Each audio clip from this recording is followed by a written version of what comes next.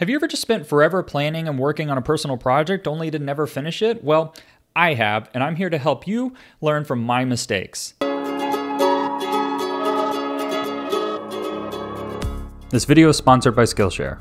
First things first, you don't want to stare at this face the entire video. So what I'm going to do is put a lot of Blender B-roll over the top of this video. Not all this B-roll is specifically from the short film I'm working on now, but they all are from my work or my personal projects. I've been trying to make a short film for 10 years and failing. Now, if you've watched my career video where I talk about going from a pet company to a tech giant in three years, you'll know that I haven't been slouching on personal work, but I haven't made the one thing I want to make, a short film.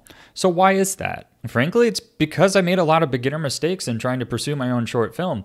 The good news is that over the last 10 years, I've learned quite a bit and I'm finally making good progress. And I want to share some of what I've learned to help you not take 10 years to make your own short film so that hopefully you can produce one much more quickly than I am. I'm not saying you can't spend 10 years on a short film. Ian Huberts just did it and it's been doing very well. It's just not very common that people are able to focus on one project for that long.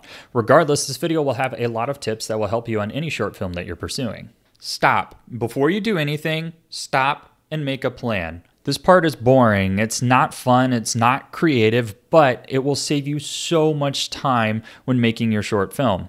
So, what does planning look like for a short film? First up, you need to determine your goals for your short film. Why do you want to make a short film? Is this just a personal project for fun? Do you want to upload it online to share with people? Do you want to submit it to festivals? Are you making it for a studio? First, you need to get in order why you're making a short film, and that'll help you better make a plan. These next few steps are going to be kind of obvious to some of you, but I still would like to go through them, so just stick to the video. We'll get to the good stuff as we go on, I promise. First up, you're going to need a script, and you know, not every short film is going to have dialogue, so you may just be writing out the actions. If you're sharing this script with other people, you may want to look into an actual scripting format. If you're writing it for yourself, just write whatever works best for you. Next up, you're going to need to create a storyboard, and in this storyboard, you're going to determine the camera shots and the edit you have. 3D takes a lot of time, so you don't want to make any more content than you have, especially if you're doing this by yourself. Now, if you're not good at drawing, don't worry. As long as you understand what the drawings are, that's all that really matters.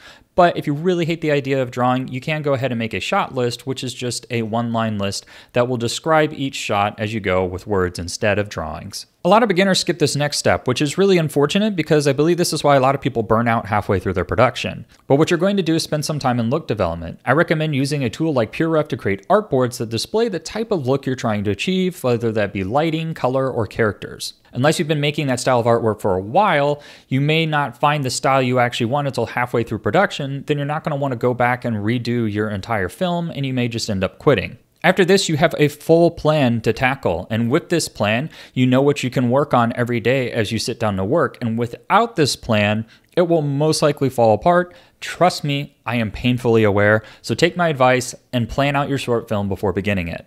This next step is huge. Budget your time. How much time a week can you devote to your short film? Mornings, evenings, weekends? How much can you devote to your short film while maintaining your mental health and responsibilities? This will look different for everybody. Also, when is the most productive time for you to work on it? For me, it's two to three hours in the morning before I start my day job. Consider your priorities. Are you willing to give up an hour of game time or TV to work on a personal project? If not, that's fine. You don't have to make a short film. It's about if you want to, and that may not be a priority for you. Use this to make a routine, and once it becomes a routine, it's going to become much easier to make progress. It may take you some time to find your routine, and that's totally fine. Just aim to create a routine out of working on it. A bit about our sponsor. Are you looking to level up your 3D skills? Then a great place to look is Skillshare. Skillshare is an online learning community with thousands of incredible classes for creators. Explore new skills, deepen existing passions, and get lost in creativity. They have classes on Blender, character design, productivity, cinematography, illustration, business, and more. I'm a top teacher on the platform, and I host several Blender courses focused on characters in Blender. It's a great place to start learning Blender as I really focus on kind of the basics in these courses and trying to help level up. In my Your First 3D animation class, I'll walk you through the process of animating your first 3D character. We'll cover the dope sheet, graph editor, and include free character rigs. This class focuses on the basics and it's made for beginners to Blender. It's curated specifically for learning, and there are no ads. They're always launching new premium classes so you can stay focused and follow wherever your creativity takes you.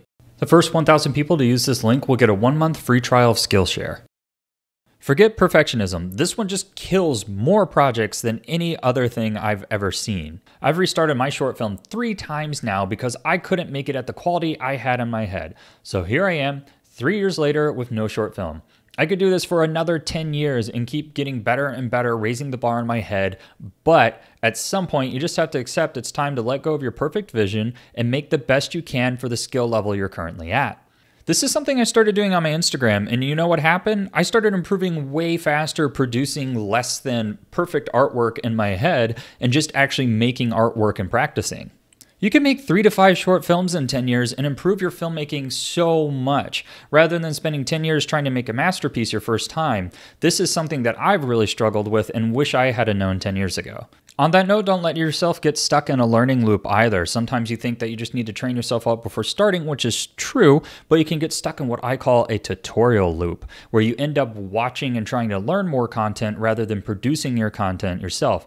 You need to indulge in learning content and then also produce to get that experience so that you can move forward and create your own work. Except for my channel. Watch watch everything on my channel, all the tutorials, everything, and buy all the stuff. Thank you. Don't overcomplicate it. Take a look at this triangle fast, cheap, and good. You can only pick two when approaching a project. If you're an independent creator, you most likely will be choosing cheap and good, which means it's going to move slow. You won't have an entire team to make your short film quickly. There's a good chance your first short film might not be your best, and that's totally okay. Did you accomplish your personal goals? Did you learn from it? To me, that's a success. I've been trying to make a complicated fairy tale story for 10 years, but I recently decided to put that idea on pause and focus on a simpler story, and now I'm making way more progress. My goal is to finish this short film and then restart the more complicated one after I've gained more experience and become more efficient. I have a feeling that short film will be a lot better, but that doesn't mean this first one won't be a great learning experience or fun to watch. Utilize asset packs. These are great for filling out your scene and save you tons of time. I've caught wind of the stigma that an artist is supposed to make every single thing in their scene. And to me, that's just not realistic if you want to produce a short film on your own. I'm not saying it's impossible, I'm just saying it's an unnecessary roadblock. Plus, it's not just models you can download, you can do textures, audio, camera moves, and more. I put some links below that have some free assets that might help you make your short film, so make sure to check those out as well. Create your own asset packs and templates. For example, if you're using a lighting setup, character rig, grass particle setting, sky scene, or whatever, if it can be templatized, template it. This is about to get easier with the new asset browser in Blender 3.0, but for now you can create a folder full of blends and import things as you need them. That's what I do for a lot of my own reoccurring nature elements, lighting setups, and textures. This is how I produce so much Instagram artwork. I recommend creating art pieces with the intention of creating templates from them. For example, I made this scene with the intention of creating a grass particle system to use throughout my short film. Break up your short film into small pieces. I mean, the idea of creating a full short film can be daunting. You know, it's so much work. But you can break it apart into smaller, more digestible goals. You'll notice I've produced a lot of little loops and scenes in this world. That's because I'm building environments, characters, lighting rigs, animations, and other elements that will all be utilized in the final product. I'm creating an entire library of elements through fun, small, bite-sized art projects that can be reused to create my short film easier. This is a great way to keep yourself motivated with smaller projects, goals, and tasks to chip away at the bigger project. Set yourself a deadline, and I know that sounds awful, like you're turning a short film into homework. I get it. But trust me, you're going to be much happier if you complete your short film than you are if you work on it for two years and quit and feel like you wasted your time.